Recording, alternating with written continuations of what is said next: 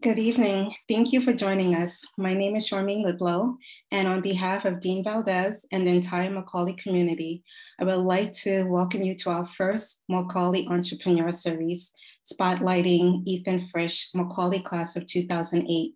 And moderating tonight, the conversation will be Jayne Chen, Macaulay class of 2021.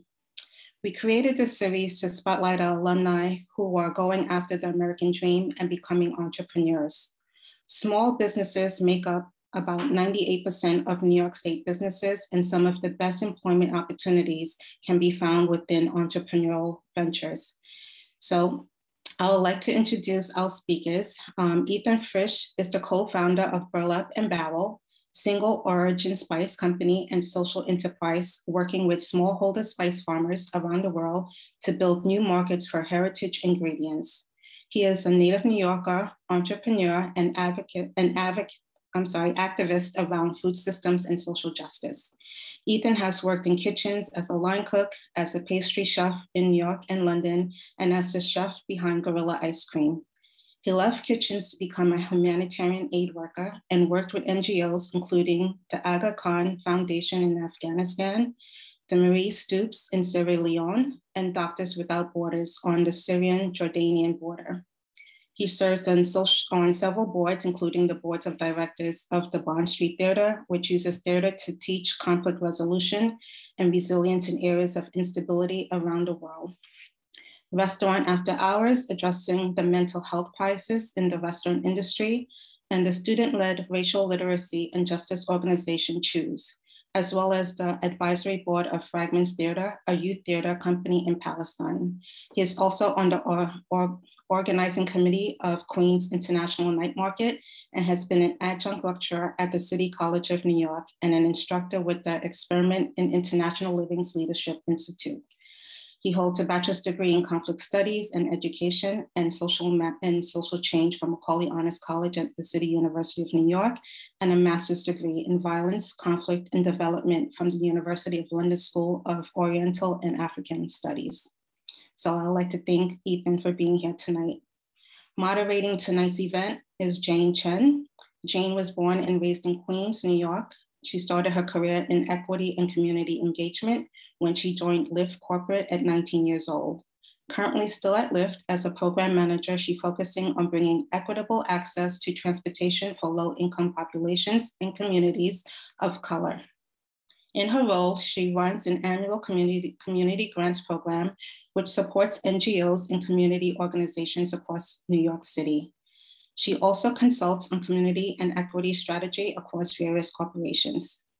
Prior to her career at Lyft, she worked as a freelancer photographer, specializing in portraiture and, and events, which sparked her interest in finding the intersection between social impact, creativity, and solution-oriented entre entrepreneurship. Her clients range from artists such as Gunna and Teyana Taylor to small women-owned businesses like Happy Fish Fashion. As a freshman in college, she worked at a media company producing events for Columbia Records and the Butler Group. She is currently finishing her last year of studying entrepreneurship management at Baruch College, where she is a proud Macaulay student. So thank you both for being here with us tonight. And right now, I'll go ahead and pass it over to you, Jayne.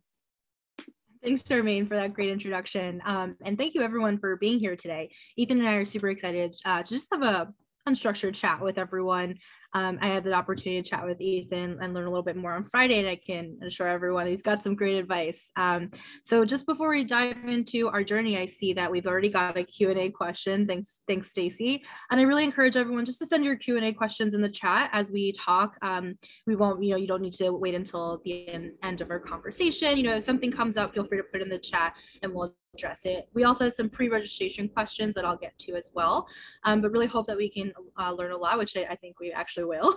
uh, so Ethan, I'd love to just pass it over to you and uh, let you introduce yourself and Burlap and Barrel. Sure. Sure. Well, uh, good to talk to you all tonight. Thanks, uh, Jayne and Charmaine, for setting it up and, and inviting me to talk to you. Um, as uh, Charmaine mentioned, I'm the co-founder of a company called Burlap and Barrel. We are a single origin spice company, a public benefit corporation. We've been in business five years. Um, I uh, started the business after a long string of other jobs that I did for short periods of time. uh, but learned a lot at each one of them, and and they all kind of came together into this business. Which before starting it, I had no idea I could like could even exist, let alone uh, something that I could do. It wasn't like a, a, always a career aspiration to own a spice company. Uh, it really came out of all the other experiences I had had leading up to it. Um, and uh, now I get to work with small farms, with farmers all over the world, mostly people who've never exported before. So we help farmers set themselves up to export for the first time, and then we buy their spices, we import them, and we sell them to anybody we can convince to buy them. Sometimes it's restaurants, chefs in restaurants. Sometimes it's home cooks. Sometimes it's um, uh, manufacturers of all kinds of things. You know, we supply breweries and bakeries and ice cream companies and all kinds of other uh, manufacturers. But uh, the the focus of our business, the bulk of our business, is direct to consumer. So um, if if people have questions about running an e-commerce business or a D2C business, that's what we do most of the time. Um, and so we can get into some of those details uh, later on. Yeah, awesome. Um, Ethan, before we kind of jump into how you started your business and really like the ins and outs of, of starting a small business, I'd love to hear from you just a little bit about like your venture prior to Burlap and Barrel um, and kind of your journey from college and graduating and then kind of what led you led you to Burlap and Barrel first. Sure. Yeah. So I I graduated in 2008. We were just talking before the session. I was the fourth uh, or maybe fifth graduating class of, of Macaulay students ever. Um, so it was a brand new program, uh, and I graduated in into uh, the financial crisis, or really just before the financial crisis. Um, so I had a, a, job right out of college that I'd gotten through an internship through City College at a political foundation, uh, but I got laid off uh, about nine months later. Uh, no, a little over a year later, because um, they lost their endowment, and I wound up working in restaurant kitchens because I had just always loved to cook and I needed a job and it seemed like an interesting thing to do. So I I kind of luckily stumbled into an interview at a restaurant that really needed somebody right away. They didn't care that I didn't have any experience at all. They were, you know, can you start right now? You're hired.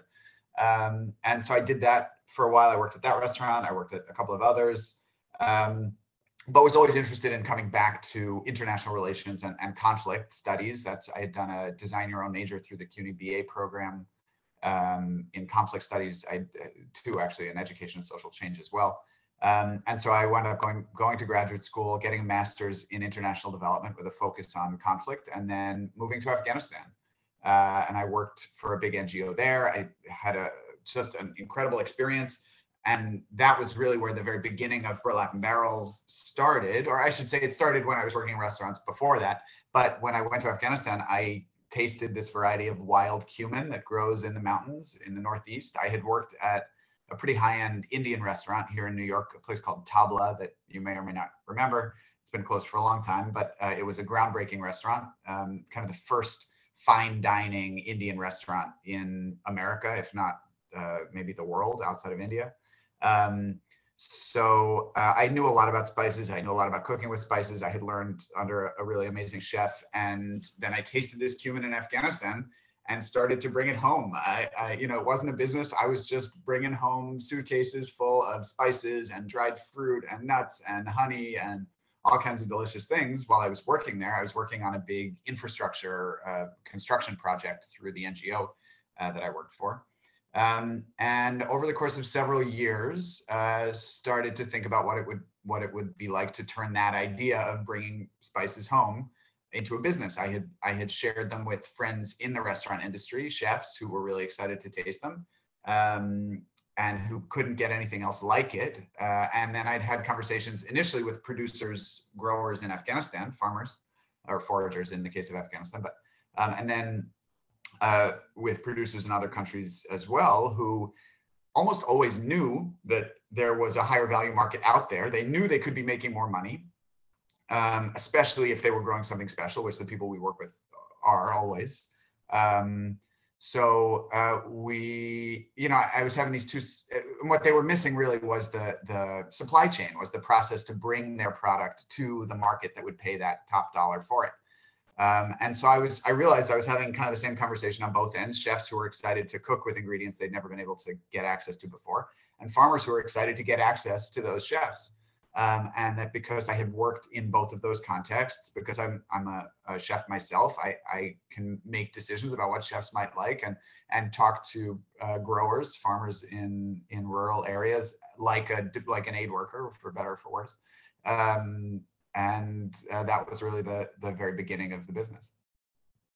Yeah, it sounds like you tapped into this this value proposition, this market where you were fulfilling a lot of your passions, but also finding this missing connection between two really important parties in what's in what's running your business now. And I, I know we have a lot of questions, uh, both from registration and from Stacy. So I guess we'll just jump right in. Um, you know, when you were when you were founding uh, Burlap and Barrel, um, and specifically through the funding stages. Can you talk a little bit more about how you initially funded it, um, you know, how you raised the capital and maybe some of the pain points that you were met with there? Uh, it's a huge question, a super important question. Um, Stacy, thank you for asking, and good for you for thinking about that right out of the gate. I mean, it's um, the short answer is we we didn't fundraise. Uh, we um, we started with a little bit of our own money. I'd been working at that point for almost 10 years. Uh, I was 30, maybe just, just, I just not quite 30 when I started Burlap and Barrel. So I have a little bit of savings. Um, and I, I put that money into starting the business. Um, I ran the business out of my apartment for the first uh, year at least. I mean, I still work from home but uh, we had a, literally one ton, more than one ton of spices in my one one bedroom apartment in Queens. I had registered the apartment with the FDA and the New York State uh, Department of Agriculture to be able to do that. It was mostly legal, not 100%, uh, but enough legal enough to to get the business off the ground because I didn't have any real money. Um, and I didn't know how to go out and fundraise. I still, I mean, I, now I have a better idea about how that would work, but I still don't really know how to do that and and I just wanted to see if I could get this idea off the ground myself. Um, and so I put a little bit of my own money into it. I ran it out of my apartment as cheaply as I could. We didn't hire anybody. We didn't spend any money. We didn't we we didn't absolutely have to spend. Um, and I, we didn't pay ourselves, my co-founder or I. Uh, we didn't pay ourselves for the first two years. Um, I was on unemployment for a little while of that. There, you know, there were ways that I got by, but but it was not easy, and that was a, a challenging decision. And honestly, a decision we still question. We we are still a bootstrap business. We have not taken outside investment. We've taken out loans, which work kind of differently. Um, but um, but it has uh, made our growth more difficult um, in ways that uh, you, you, know a, a venture-backed or an investor-backed company will have a lot more money to grow and grow more quickly and take bigger risks. And for us, because we haven't had that kind of money, uh, we've had to be really, really careful in how we spend it. Really, really careful in the risks that the business takes on, um, and just you know over and over again question every dollar that we spend. Is this really the best way that? You know, because there are a hundred ways we could spend that dollar, uh, but what's the best way? What's the way that's going to have the, the most impact on growing our business? It's hard, uh, but but uh, I'll just say one more thing about that. As a social enterprise, um, it's really it it adds a level of complexity to funding a business uh, because a there's an assumption. This is crazy, but there's an assumption that as a social enterprise, you're gonna you're gonna do worse. So loans for social enterprises tend to charge higher interest rates because they assume that you're you're not gonna you're not gonna make it as a business. So that makes it harder. But then also as a social enterprise, if you do go out to find investors, um, it it will change the way that your that an investor looks at your business because they're gonna there's a there's a you know a profit motive and there's a values motive um, and uh, investors are, are are going to be a little more hesitant to invest in a business that doesn't put profits absolutely first with, without values. So, um, yeah. Yeah, um, you know, one of the key themes I think that comes out of like this conversation is this this want and this push to do socially good with whatever venture you're pursuing. Um, and it sounds like you know you've you've talked about a little bit about just the funding challenges, but have you seen this challenge to continue to put you know the social impact first um, over profit in other in other ways, whether it's like marketing or whether you're running sales? I think Stacy also had a question uh, about sales too, so I would love to hear about that. Yeah. Um, it there are pros and cons for sure. Um, uh, for me, it was really important not just because of my kind of values or, or my work experience, but also because um, I wanted to establish long-term relationships with the farmers that we source from. Um, and that means paying them more and, and building a real uh, a real relationship. Um, and so that to me is is kind of at the heart of our business, the relationships that we have with our partner farmers. Um, and the fact that that made the business a social enterprise was kind of an afterthought. The point was to build a business that that valued those relationships, that incentivized people to grow higher quality ingredients, to do it organically or regeneratively, um, and and to try to sell those ingredients, you know, as they are, not not routed through a crazy commodity supply chain that uh, that sort of loses that quality. Um, so so having it be a social enterprise has been really important, but it has also come with challenges. Um, the the fundraising challenges I mentioned earlier, and uh, I guess um, the on a, from a marketing and, and sales perspective, um, a social enterprise carries a lot of marketing weight with it. So customers really want to know where their food is coming from, where their ingredients are coming from, that the business that they're paying money to, that they're buying from, is putting that money to good use. And so that's been really helpful uh, in terms of marketing. And to Stacy's question about sales channels, actually, uh, you know, our, our biggest sales channel today is direct to consumer, is, is e-commerce through our website. Um, and part of the reason for that is because we have been really lucky with uh, press coverage because journalists really like to write about social enterprises, really like to write about the, the mission as well as the business. And so we've gotten quite a bit of press, and that press has driven e-commerce sales because people read an article, they come to our website, they buy the cinnamon or the turmeric or whatever it was that was written about in that article, and then they come back and buy more things over time. So um, overall, I mean, I for me it wasn't it wasn't necessarily a decision exactly. It was always going to be a social enterprise. That's that was the only kind of business i was interested in in doing or even being involved in. Um, but uh, but for other people i think there's if, if you're coming into it and looking for the advantages of a social enterprise i think there are a lot of upsides um, especially from that marketing and and uh, and sales perspective yeah, Ethan, I think you bring up a great point. And just like as a equity and community engagement professional, like I'm seeing the importance of a brand being more than just the products and services and being more about the, the North Star mission and the social impact values that they're bringing to the table. So I think, you know, when you're building a community on your products and services, and we'll dive a little bit more into that because you had some really great stories to share around building a community. Um, you know, we'll dive a little bit more into that. But um, I, I, also really agree with Stacy. Really highly admirable to just bootstrap all the way. Um, and you should a question about navigating the import and export red tape to bring those tons of products in. So if you want to answer that one, yeah. Uh, yeah, uh, you know, importing spices is fairly easy. I, I don't know if you have uh, experience importing anything else, or you, have talked to other companies that have done that, but um, the US is pretty easygoing about importing spices because we're not competing with any domestic producers. Although we've started to get some domestically grown spices, that's kind of a different story. But you know, there's no cinnamon grown in the US, so there are no tariffs uh, to import cinnamon from Vietnam and Zanzibar, which is where we get ours from. Um, you know, it's a process like any other government process. It's like getting a driver's license or renewing your passport or mailing a letter at the post office. Like it's a process. It's not always the easiest uh, or clearest one, but it works if you if you understand kind of how to approach it. And so I I did a lot of that myself, my, my all the paperwork and driving out to the airport at three in the morning the first year to pick up a shipment that had come in from somewhere and they were going to start charging me storage fees. I didn't want to do it. So um, but now uh, we're finally at a size where we have a freight forwarder, a, a, shipping company that we work with quite a bit, a customs broker um, who handles all of the paperwork for us. And that's really her area of expertise. And she does it way better than I could. And I think that's also kind of a, a thread that runs throughout entrepreneurship is is you do the job until you can afford to hire somebody better to do that same job. I always, you know, I came into this without knowing anything about international shipping. I didn't know anything about logistics. I didn't know anything about food safety. I didn't know anything about sales. I didn't know anything about all of the little pieces that today make up my day to day job. Um, and I had to learn all of that. And some of it I was able to learn enough or learn fast enough uh, that I didn't need to, to outsource it, or I still haven't needed to outsource it. But a lot of it, um, you know, you, you hire a professional, you hire an expert as soon as you can because uh, they'll they'll make it worth your while. They'll they'll do work better that's that's worth that money yeah small but mighty team i think um, that's that's a good way to put it uh, and just digging a little bit more into, you know, you talked about wearing lots of hats before you expanded your team. We have a question from Shamika that was from pre-registration. It's about balancing and organizing your time. You know, when you're wearing all these hats, um, are you using any specific tools or apps that you're relying on to really get that work done?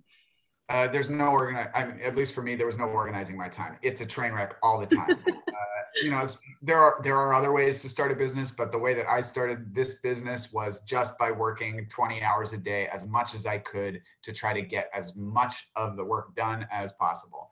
And uh, the the quality of the work may not have been the best all the time, but um, you know, I think one of the things that I've learned through doing this is that uh, you learn so much more after you start a process than while you're just thinking about starting it. Um, and so I had kind of set this target for myself. I had a another job over the summer that was going to go through September. This was the summer of 2016 as I was starting the company.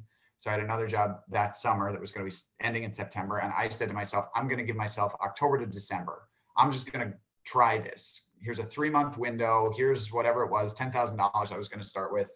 Um, and let's see if I can make it work. Um, let's see if I can find some restaurants who are willing to buy the spices. Let's see if I can bring some shipments in. Uh, let's see if I can figure out packaging and a website and all of the other many hats that you have to wear to do it. And and it did start to work. It was not by any means an immediate success, and it really never has been. Although COVID has had a, a strange impact on the business that we can talk about, but um, it, it was it was and still is in many ways slow going you make incremental progress on things. You feel like you're banging your head against the wall most of the time, not making any uh, measurable progress. And then like something clicks into place or you, you have a, something happens where you start to see some progress. Um, but it's always a slow process. And it, it always is, it's not a process of choosing what you are going to do. It's a process of choosing what you're not going to do because uh, you have to take some things off the table and then you try to do everything else. Yeah, that's a that's a really interesting way to frame it, right? Like instead of what you are going to do, what not to do. Um, and Stacy wants to just appreciate your time, which uh, definitely definitely also appreciate that. Um, and I think uh, Stacy Ethan will be able to share his contact information at the end. So if you're going to stick around, uh, you can connect with him uh, as well. And Jean, I love the farm to fork. I really like that slogan. Um, Ethan, you know, we, we talked a little bit about this kind of idea of like diving right in, right? And I think a lot of young entrepreneurs or people who are looking to step into this space have this question of, um, you know, when do I quit my job? Or, you know, like when do I know it's time to give 110%? Um, you know, to this venture? At, at, what stage should I be ready to do that? Um, you know, you talked a little bit about that, but just generally from your experience, what do you recommend to people? Yeah, I would recommend finding a way to experiment with entrepreneurship before you commit. Um, I had a summer, the summer of 2010, where the restaurant I'd been working at closed, and I I started making ice cream and and uh, started an ice cream cart um, with my current business partner, my current co-founder as well, actually. Um, so we had a three month experimental period where we got to try out this entrepreneurship thing and then we moved on in our lives. It, you know you can't run an ice cream cart in new york city after september anyway after august anyway. So uh, that was a really interesting um, experience for me. Um, and working in, in restaurants which are small businesses and other jobs that i'd had gave me a lot of exposure. My mother also owned a small business my whole childhood. So i grew up in her you know in the store that she owned um, so I had a, I had had a lot of exposure to entrepreneurship and small business. Uh, that's not necessarily the case for everybody, and so I always recommend finding a way to get some exposure. Find a startup to do a you know even a volunteer job with, or um, try something really small. Find the smallest version of your idea. If you're thinking about launching an e-commerce store, um, try an Etsy store with two products, one product. Just uh, just as sort of a test run to learn the ropes, understand some of the things that go into running your own business, how how big of a, a bite it is. I think a lot of people don't realize, or maybe they they do, but uh, once you're in it, you know, quitting a job is really hard for obvious many obvious reasons. But um, I think a lot of people, one of the reasons that quitting it is so hard is because you don't understand the expanse that you're stepping into. Right? There's it's it's very poorly defined um, and it really feels like that uh, for the first period, for the first six months, or you know, as long as it takes to kind of get your footing. Um, so finding ways to have that experience in in like a protected setting, in an environment where you don't have any, you don't have too much of yourself or your own money on the line, and can understand how a startup works. Um, I would highly recommend finding a way to do that. Um, or if you have an idea, just go for it and do it in a more limited way. Be a little careful in the beginning, uh, kind of test it out. Uh, there are lots of ways to do that, but um, but yeah, finding finding a way to to rehearse your idea under a uh, you know in in the protected with the with the protection of of another context, whether it's a part time job and you're doing your your you're pursuing your idea you know, kind of on your own time in the evenings or on weekends uh, before you you take the full plunge. I love this idea of like a dress rehearsal for entrepreneurship. Yeah. Um, but you know, you said something really interesting to me on Friday. It was like uh, entrepreneurship is this additive experience, right? So like even if you go for it and something doesn't work out, like you have all these learnings, right? And you've learned something, you've you've grown, you've kind of saw uh, you saw how that process worked. So I think I really appreciated hearing that like it was an additive process, uh, additive experience that you know you can back out of, you can come out of, um, you know, you can take yeah. different directions.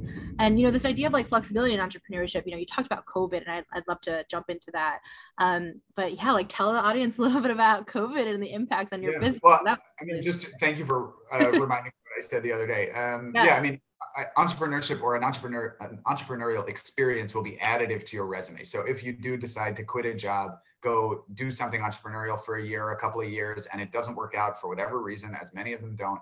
Um, when you go back to apply to other jobs, that entrepreneurial experience is going to look great to a, a potential employer. If somebody came to me applying for a job with us and had pursued an entrepreneurial project and then, uh, you know, it just didn't work, I would I, I understand like that that means a lot on a resume um, and so don't feel like you're taking away from your career or your that uh, in, you know potential employers are gonna are gonna wonder how you spent that time. I think it it looks really good. Um, COVID uh, COVID was a, a real roller coaster for us, as it was for m- most small businesses. I, I, would say in the U.S. Um, coming into March of 2020, we had a big restaurant supply business that was half our business, which disappeared basically overnight because all the restaurants closed. Um, and we were really lucky uh, that Home Cooks came to the rescue. Uh, we had had a, a, decent e-commerce business before that, decent direct-to-consumer, um, but uh, but it it really took off during COVID. And and our goal had always been to move the business towards a more e-commerce oriented structure, uh, do more direct-to-consumer sales. Um, but COVID accelerated that pretty significantly, and so now the business is about 85% direct-to-consumer um, which is great, which is where we want it to be. And I can, we, I mean, I'll just run through some of the reasons why e-commerce is is uh, better. It's more fun. Uh, you have more control. You can change things more easily. You can uh, change text on your website or think about how you're marketing something a little bit differently.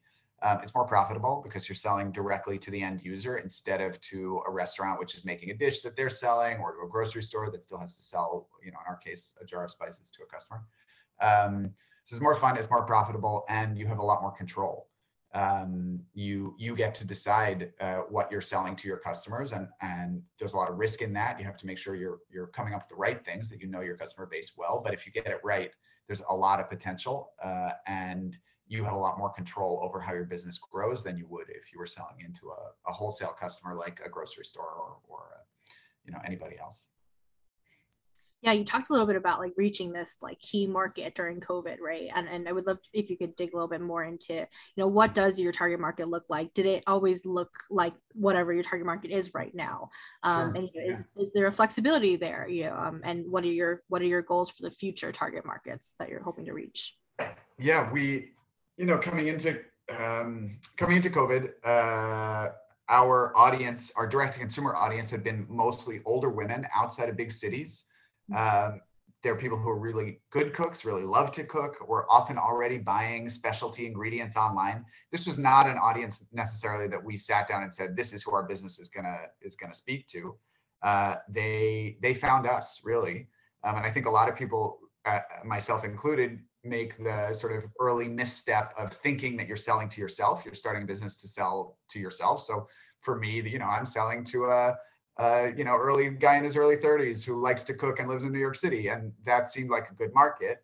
Uh, but it turned out that was not really where our market was. It was it was uh, with women mostly over the age of 50 outside of big cities. We started to see a lot of orders from AOL email addresses, so you you know the demographic. Um, and then uh, through COVID, the demographic has changed. A lot more people were cooking at home. Uh, a lot more people were shopping online.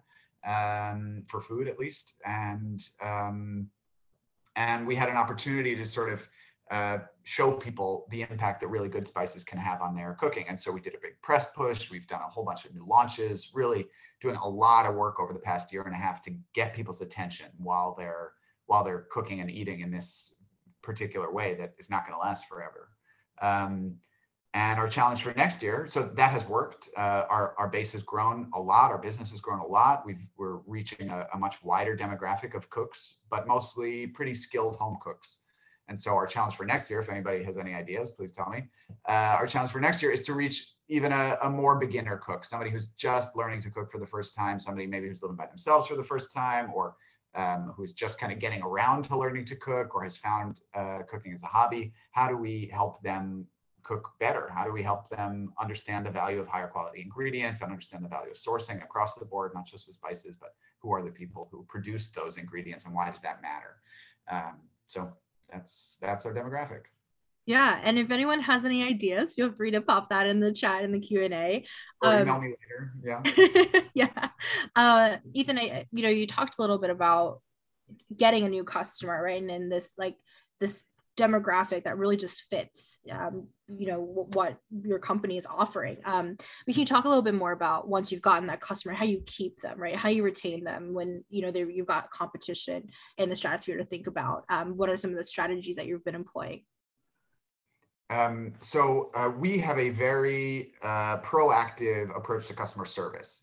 Um, what we realized early on and, and i think this is something a lot of startups miss is uh, that we could just email our customers.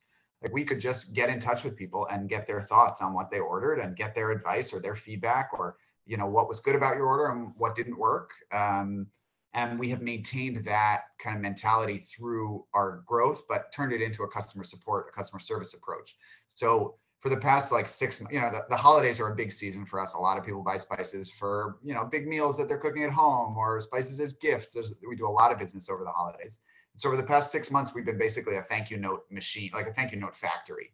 Uh, basically anybody who places a first order anybody who places a gift order anybody who places a big order anybody who orders things that look funny for some reason we just send out dozens of thank you notes a week um, proactive customer service, trying to retain the customers that we already have, but also give them something to talk about. You know, they're going to talk to their friend and say, "This is weird. I placed an order with the spice company," and then they email me to say thanks and give me a code. I don't know. It's um, trying to trying to to uh, bring our customers into a community, make it feel like a neighborhood business that just happens to be on the internet, but the kind of a business where you walk in and they recognize you and they they you know they know a little bit about what you like. Um, we want our business to be an online version of that, and it's it has it has worked well. It's um, different from the way that a lot of e-commerce companies start or or operate, where e-commerce or where uh, customer service is is really an afterthought. Um, but it's been uh, first like you know front and center of everything we do. Yeah, I, I love the cards. I can't remember the last time I got like a nice thank you card. So a really nice touch there. Um, do you think that like social media has has also influenced, you know, your strategy of building community and, and retaining customers? Yeah, for sure. I mean, social media, um, uh, I, I did all of our social media for most for like the last four years. We just finally hired somebody to take it over. Uh, long long overdue. I was very happy to hand it over to somebody who's better at it than I am and who likes doing it more than I do. Um, but uh, yeah, I mean, social media is free advertising for a small business without much budget. Um, it's easy to connect with other like-minded people or organizations, and it's easy for people to find you. Uh, easy for you to put content out into the world that you wouldn't really have a, a vehicle for otherwise. Um, and it gets a lot more complicated and a lot riskier, honestly, as you get bigger and you start looking at spending money on ads and uh, thinking about customer acquisition on social media. But um, for a small business, that's honestly it could be the, the first or maybe the only place that you start is uh, is on Instagram or on Facebook. Um, we because of you know, with our AOL uh, email address customers, uh, we found that Facebook is really where most of them are active. Um, and so we have a Facebook group, uh, about 6,000 people at this point who share recipe ideas or ask for advice or I'm trying to pick between these two varieties of cinnamon. Which one should I get? And and uh, we've kind of accidentally wound up having our customers do a lot of the customer support work um, in the sense that they answer each other's questions, they help each other, and they bring each other into a community. around the business, which is which is really amazing. Yeah, I think that's really powerful. You know, like when we talk about community engagement, we have this framework where, you know, the lowest level of community engagement is where you invo- inform people, you know, like people read, you know, a newsletter that you put out. But really, ultimately, the goal and the North Star vision is to get to where you empower people to talk about your brand and to interact and to uh, encourage others to do so. So it sounds like your AOL customers have a great thing going on Facebook. Um, but yeah, I think that thanks for sharing a little bit more about like the role of social media that's been kind of like a hot topic conversation right over the past few years and the importance of business and social media. Um, you know, as we think about, I love to, you know, kind of go back to COVID and we think about a post-pandemic world, you know, returning to a state of normal. Um, you know, you talked a little bit about the ex- expected challenges that you think you'll face but are you is there anything you're really excited about um, you know anything in the next few years that you're looking to expand on or grow? Yeah that's a great question. Um, i'm really looking forward to uh, traveling again. Uh, i saw charmaine had put a question in the chat about how we meet partner farmers and there are lots of ways that we do that but the ultimately a very important part of it is going to meet people in person. Um, because we're starting what we hope will be a long-term business relationship and I want to I want to know all about their farm and how they operate and what they care about and what they're optimizing for. And I want them to get to know me and understand a little more about our business. Uh, you know, we call them our partner farmers because it's really a partnership. Um, and so I'm looking forward to getting to do that again. Uh, we did. We just went to Hungary, my business partner and I, a few weeks ago to meet a paprika farmer. We have gotten to do some travel in the last few months, which is nice. Um, but big big trips have been obviously off the table. Um, we are also kind of in in a decision point about the business, about growth and and larger goals. Uh, we've been growing very quickly. We've been growing pretty aggressively, which means a lot of work, a lot of time. I sit at this desk easily 14 hours a day, if not longer, um, because uh, what happened kind of in the middle of COVID, the beginning of this year, beginning of 2021, we had seen a huge spike in orders last year, and um, just a crazy, bonkers, impossible to keep up holiday season. We sold out of pretty much everything, which was which was good. Um, and my co-founder and I had a conversation in January of 2021 to say, what what do we do, right? Like, do we do we keep pushing? This has been an exhausting year, but there's an opportunity here. Do we keep pushing, or do we step back and wait to see how the world changes and uh, and then respond? What we decided to do almost a year ago was to keep pushing, um, which has been, I, I, think, the right decision. Not an easy decision or an easy process, but but uh, the right decision, not one that I regret at all. Um, and now the question is, uh, what do we do for 2022?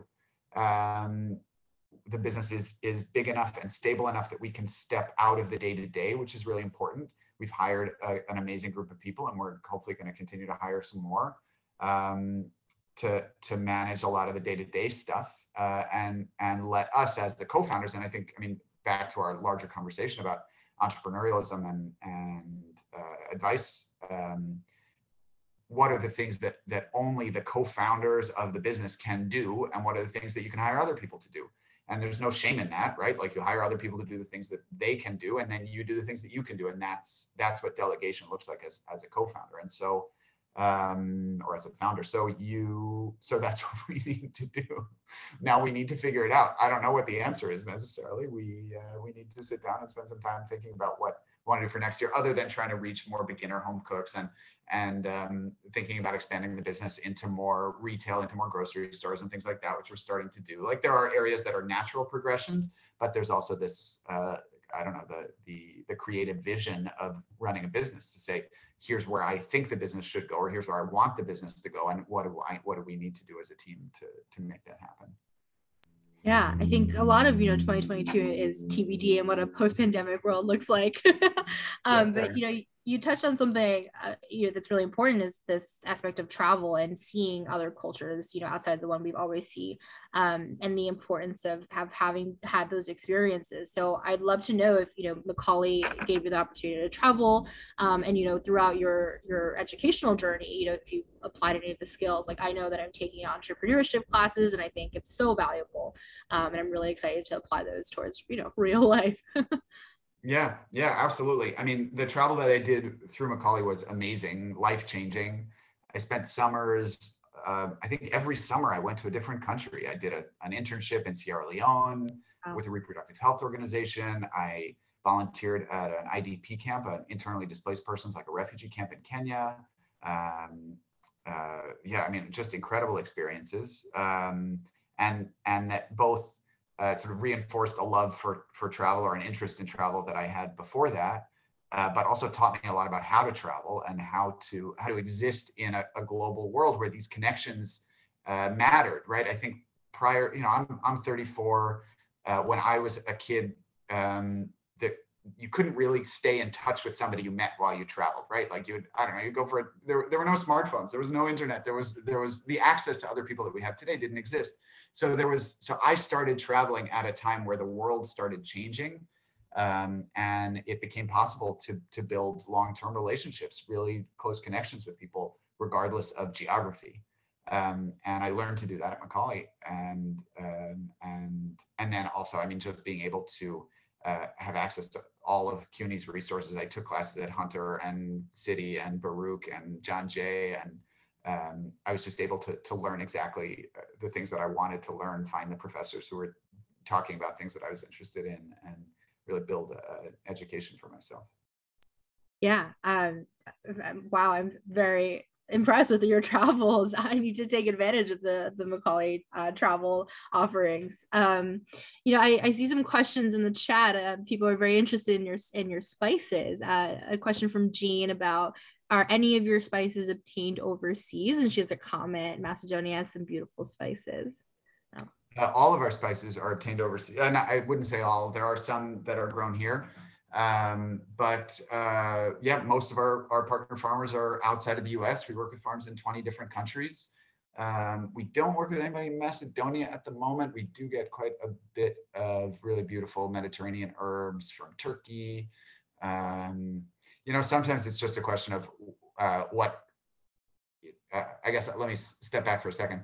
Um, when we're deciding where to source from, uh, sometimes it's a conversation about which spice we want chef has been asking about something, we want to go find it, or I have an idea that it'll sell well. And so uh, we start with the spice that we want, and then I do a lot of research to figure out where that spice is grown really well. That's one approach, and then try to track down farmers who are growing it, um, which means a lot of research on the internet, looking up articles, talking to NGOs that work with farmers in that country, a lot of time on social media. I mean, I, I didn't mention this earlier, but this has been a major advantage of social media for the business. We meet farmers on on social media all the time. That's cool. Um, uh, yeah, all the time. So, uh, so spending time on social media in groups of farmers in different places and, and try to put the pieces together that way. Yeah, it looks like Gina's a follow-up question. Uh, she's asking about seeds. Uh, and if you sell seeds that uh, she could start her own collection uh, there was a question earlier about uh, import regulations and uh, spices are easy to import unless you call them seeds and if you call them seeds then you're part of like a usda or an agricultural process that's a huge pain so um, most of our spices actually are not viable seeds. They go through a sterilization process one way or another, which means they probably won't grow. And that's both for food for food safety, but also uh, for the uh, U.S. government's regulations about importing spices versus seeds. Gotcha.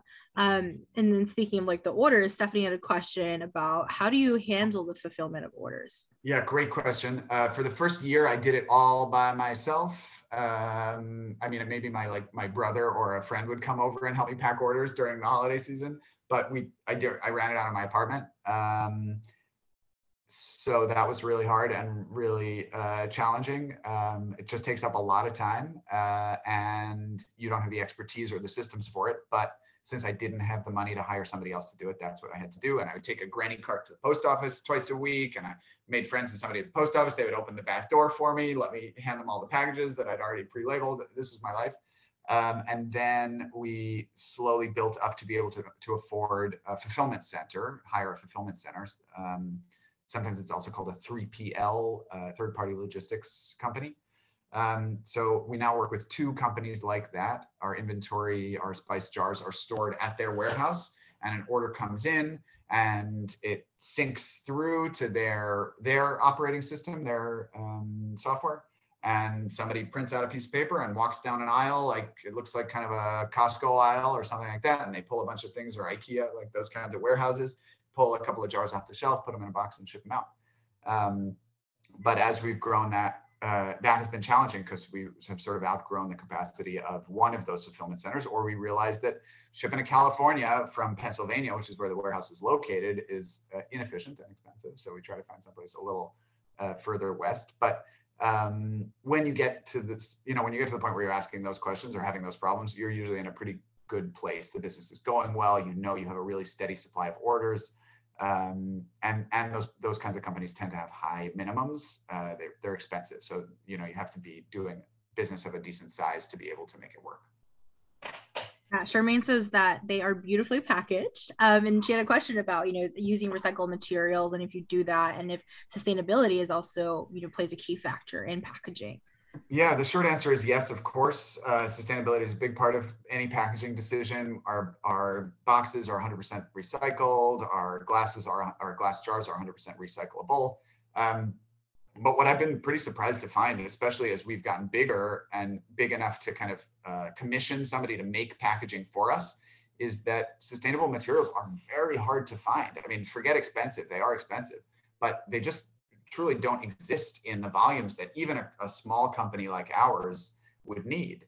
Um, you know, we have we have talked to I don't know a half dozen at least plastic manufacturers to try to convert our plastic containers. You can see them behind me. These are the restaurant our restaurant packaging. Um, try to convert those to post-consumer plastic uh, or bioplastics, and it's almost impossible. Um, that you know they can do 20%, which at some point is just greenwashing. It's just to be able to say yes, we use post-consumer recycled plastic. Uh, so it's it's been really challenging and pretty frustrating to see how few options there are for a, a business of our size at least that wants to be more uh, sustainable in our packaging and just can't find the, the suppliers or the materials to do that. Wow, yeah. Um, you know, that that kind of leads to Jean's question about like what makes you see red. You know, we talked a lot about the challenges and acknowledging the real challenges of being an entrepreneur is really good because you can give some really great advice. So, you know, like what are what are the things that you would like to accomplish or maybe, you know, you get stuck at the supply chain level or at the partner level? Yeah. Um, I mean, it's a cliche that entrepreneurship is a roller coaster. Some days you're on top of the world, everything is amazing. This is the best decision I ever made and some days uh, you feel like crap because nothing is going your way and people are telling you no and you've discovered some typo on your labels that makes you crazy like all of those things happen um, i uh, I have I have learned to slow down a little bit. Like when I'm when I feel myself getting like really worked up, take a step away from my computer, take the dog for a walk, just like take a breath uh, but also as much as possible, and you know sometimes easier said than done, but as much as possible to learn from those um, those issues. So if something went wrong, what was the system behind it that didn't make it go right? Like where was the what what was missed and how was that missed and what's a system that we could put into place uh, to make sure that it doesn't get missed again we just I, I mean i mentioned that label typo issue we just had that issue uh, we yesterday we found a, a pretty embarrassing type, not like a bad word, but just like a, an embarrassing typo on a label that we produced for a customer. Um, and so that turned into a whole conversation about where that typo could have been introduced and what we could have done to fix it and what we're going to do for all of our labels going forward. So one of one of them is one one thing I would say is just learning from those mistakes uh, and figuring out how not to make them again. Um, and the other thing is that when I have found personally a lot of value in disliking doing something. Like if I really don't like doing something, I I, need to, I can use that uh, as a motivation to stop doing that thing, to figure out a better way to do that, or to, to find somebody else who will do it better for me. So, um, you know, there's there's something about not liking aspects of your job so that you can push yourself to stop to fire yourself from those things to find other other ways to get them done. Yeah. Um, you know, as we're closing in on 10, about 10 minutes left, just want to encourage anyone who uh, has questions to please drop them in the Q&A. Um, you know, we'll continue to answer them live. Um, Ethan, question about your partnership with women-owned small businesses. I'd love to hear about that. Yeah, I mean, we, we are really like a, you know, a connector business in the sense that all of our partner farmers are small businesses themselves, and we are uh, working with lots of small businesses at this end. You know, we, we obviously supply a lot of home cooks, but uh, working with restaurants, working with manufacturers of all kinds of things, um, supplying other spice companies. We, we work with a lot of other small businesses just by the nature of our business. Um, and uh, we, for whatever reason, I wouldn't necessarily say it was intentional, but we have a lot of uh, women entrepreneur friends, and so we've done a lot of projects with them, especially on our on our um, on our website and on our domestic side. So we we do work with some women farmers. Our star anise are, is uh, actually wild harvested by two women, two cousins. Um, saffron that we get from Afghanistan is largely harvested by women. That's much more complicated. They don't actually own the farms; they work on the farms. It's a different conversation. But um, uh, but we also work with a lot of women-owned businesses here um, and find ways to partner with them either uh, by providing them with some of the ingredients that they use and then buying those products that they're making back to sell on our site. We've done quite a bit of that uh, between chocolate and pickles and soap and other, you know, tea blends and things like that. Um, so I would say uh, working with entrepreneurs of all backgrounds and orientations across the board has been really interesting. It's been a big part of my personal journey as an entrepreneur, and, and it's just a, a big part of what we do on a day to day basis. Yeah, um, you know, I was I have a few questions that I want to close out on. This one's a really fun one from Jean. Have you ever been on Shark Tank or thought about it? no, my co-founder, my co-founder really wants to go on Shark Shark Tank. I don't, I don't necessarily personally love being on camera like that, but um, he really wants to go on Shark Tank. So uh, we're we we have some we found some contacts there. I'm going to see if we can maybe make it happen this Woo. I don't know season that starts. I have no idea. I have no idea. It seems like a ridiculous, such a ridiculous experience, but maybe we'll be able to pull it off. Jean says she'll pitch for you, and uh, you know, if I see you on my TV, I'll I'll know your co-founder won out that argument. right, exactly. um, and then Stephanie's got a great question. You know, if you weren't in the spice business, is there anything else you'd be interested in pursuing, or maybe like a, a market that you see as really viable right now? It's a that's a good question. I mean, in food, uh, I have lots of ideas. If you're not in food, uh, I probably don't know your industry well enough to be able to to make any uh, specific recommendations. Um, but I think there was a, a, comment earlier about sustainable packaging. Uh, Jeffrey said something about sustainable packaging in the chat. I think that's there's a huge market there. Um, sustainable packaging options. Um, I think there's a huge uh, market around upcycling food products, food waste. I mean, think about the amount of coffee that we throw away, right? Like you buy these buy this these coffee grounds that have been grown by a farmer, fermented, dried, processed, shipped, roasted, ground. You pour water through them for 90 seconds and then you throw all of it away. Uh, I think there's I think there's a lot of room in food waste. Um, and I think there's a lot of room in education around around food, around cuisines and cultures and the relationships between um, what we eat and the cultures behind them. Uh, people love to learn about what other people like to eat and love to learn uh, some of those recipes, get to taste some of that food. Um, and we've seen this in, in media, we've seen this in cookbooks, we've seen this in companies like mine, but many others also that are sort of introducing people to ingredients they've never tasted before. Um, so I think there's I think there's a lot of room there in that education component. Teach people to cook.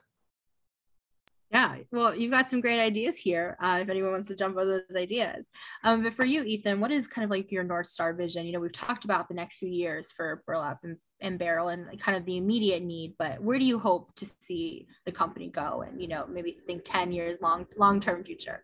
Yeah, I really have no idea. Uh, I'm not a I'm not a long term thinker. I like to focus on the thing I have to do tomorrow. No, I mean, I the vision has always been um, around social impact, and so wanting to grow the business partially so that we can expand our impact.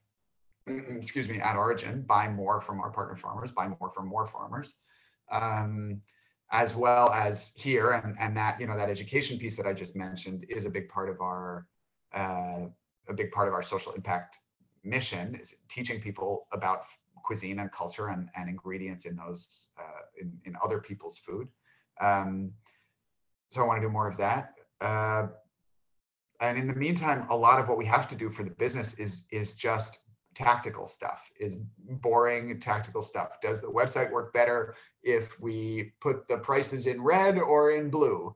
Uh, do do people respond better to new products or old products? There's a lot of those kinds of conversations that that we're going to be having over the next six months or something to figure out um, how to fine tune the, the business that we've already built. You know, there's a there's a startup phase, there's a growth phase, and then there's a stabilization phase. And we're kind of on the cusp of that stabilization phase where we built this kind of crazy thing that you don't think would really work. So how do we how do we lock it in? How do we make sure that it, it continues to work? that's the that's the next stage. Thanks. Um, yeah, I have one more question for you because I want to give you time at the end to chat about like some of the hiring opportunities that you've got coming up. Um, but we've talked a lot about about the challenges, the pain points, the obstacles, and I kind of want to land on you know talking about the joys of being an entrepreneur and what some of your favorite moments or memories or milestones in your in your journey as an entrepreneur have been. Yeah, thank you for asking that question. That's an amazing point, and I appreciate you bringing it up.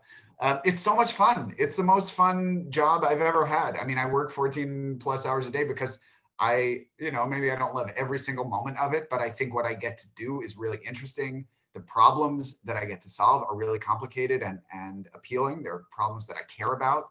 Um, I get to work with people that I like, and I get to set my own schedule, which often means working more than less. But at least I get to make that decision. Um, you know, we we started the business partially because we like to travel, and so travel has been a big part of the business from the beginning. Building a remote team, working from home, all of these systems that that will work remotely from anywhere um, means that I not only can travel but kind of have to travel for work, and that's amazing. That was what one of the things that that I really wanted when I sat down to think about what my life would be like as as a founder of this company. Um, uh, and and then um, I mean this this is also kind of a cliche, but the people you meet and the other entrepreneurs, the other business owners, the the the people who create things and invent things, and and as a founder, you you become a part of a world of people who take initiative, who who see opportunity, who pursue their ideas, who who are not just kind of sitting at home punching a clock, doing their thing. And you know, for for a lot of people, that's fine. There's nothing wrong with that. Um, I don't believe that self worth is tied into how you spend your time during the day. Uh, but um, but it has been amazing to meet such interesting people working on interesting problems and get to you know kind of talk to them as as peers to to be a part of that broader conversation. Yeah, and I guess this is a cliche question, but last question, I promise. Um, and I'll give you some time to chat about hiring. Um, you know, if you can give one piece of takeaway advice, this golden nugget of advice to you know young entrepreneurs, everyone in the audience today, what would that be? I had uh, so one piece of advice that a friend of mine who owns a restaurant had he had started the restaurant quite several years before I started this. But when I first started Burlap and Barrel, I, I went and uh, sat down with him at the bar of his restaurant and he said, Ethan, if you can think of anything else to do with your life, do that other thing. If if if you can come up with any other way that you'll be happy, be happy in that other way. Um, and if you have to do this, do this. Uh, so I mean, I say that with a grain of salt. Uh, no pun intended. I have a spice company, but um, you know, to to say like there there is at some point a certain compulsion that makes you that just you feel like you have to do it. I, I don't understand why I have to live my life this life this way, but I have to. Um, and um, I would say hold out for for that feeling. Uh, if you have an idea, like kind of test it out. Ask yourself, does that idea make you feel that way? You have to pursue this idea. You find it so interesting, so appealing, so compelling that you have to pursue it. And that's uh, that's what I would that's what I would look for is that idea. Wow, great, powerful words to land on, Ethan. Uh, this makes me want to think of the next big idea tomorrow. Um, but I just want to say thank you so much again, Ethan. It was just so great to hear your experiences and learn, learn a little bit more from you. Um, and thank you to everyone in the audience today who joined us and asked these really great questions. Um, before we, you know, officially end and close out, uh, I think Charmaine put the link in the chat, but to learn more about Ethan and Burlap and Barrel, you can visit the website there. Um, and Ethan just shared his contact information. Ethan, you want to talk just a little bit about hiring? Yeah, yeah um, we are hopefully going to be hiring next year uh, for a couple of positions. Might be part time, might be full time. I don't really know, but related to supply chain, related to marketing, um, so if you're interested in what we're doing, uh, if you are going to be graduating next June or have graduated recently and are, are interested in talking about what a job might look like, please reach out. Um, or you just want advice or you want to talk through an idea or whatever, I'm around. I'm happy to talk. Um, so uh, yeah, that's uh, that's what's happening. Yeah, I love the Macaulay community for that. Um, and also thank you to the awesome folks at Macaulay uh, for putting together this event. Thank you to everyone. It is seven o'clock, so I want to let everyone go and enjoy the rest of your evening. And I'll turn it right back to Charmaine too. Oh, thank you. This was so enlightening. I enjoyed learning about your journey, um, Ethan. And I know Um, I've ordered from Burlap and Barrel, and I love the quality of the spices and just the packaging. The care you can see the care that goes into just the packaging as well. So definitely, um, anyone on here, you know, the holidays are coming around, and definitely they do make a great, you know, stocking stuffer, I guess, um, but great quality. And thank you so much for letting us know about job opportunities. We have a great career um, career development office here at Macaulay, so we'll let them know um, to look, look out for that, and so we can share it with our community. Thank you all for joining us. Thank you, Jayne. Thank you, Ethan, so much for giving your time with us tonight. Enjoy. Thanks for having me. Yeah, thanks. Have a good night, everyone. everyone. Be well. Bye.